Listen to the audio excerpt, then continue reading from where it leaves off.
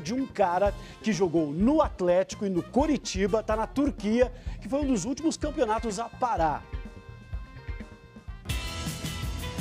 O mundo do futebol parando e o campeonato turco ainda estava a todo vapor.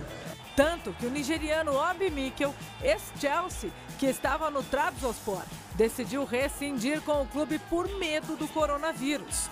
Essa história deu o que falar e a pressão externa foi tanta que agora os dirigentes decidiram tirar os times de campo.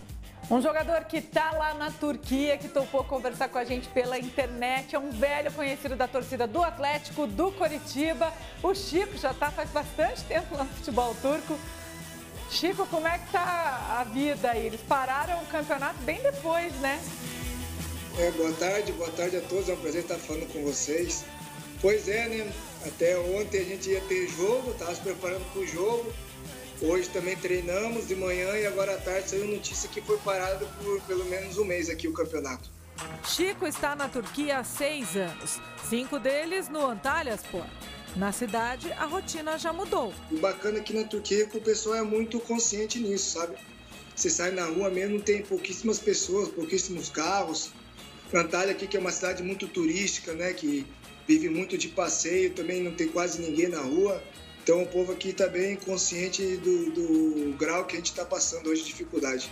A família está no Brasil e o zagueiro se vira para passar o tempo. Tenho família em Pato Branco, Curitiba, tenho falado direto, né?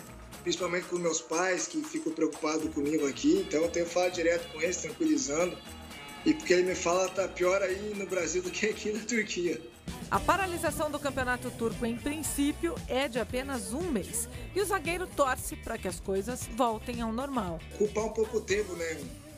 É, ver filme, ver séries, né?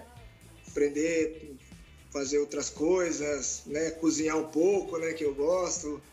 Aí a gente vai se virando como pode, né? Escutar música. Então a gente vai ocupar o tempo, de alguma maneira ou outra a gente ocupa o tempo. Com certeza, precisando, só chamar aqui, viu? Tá bom, nada, obrigado, tchau, tchau. Tchau.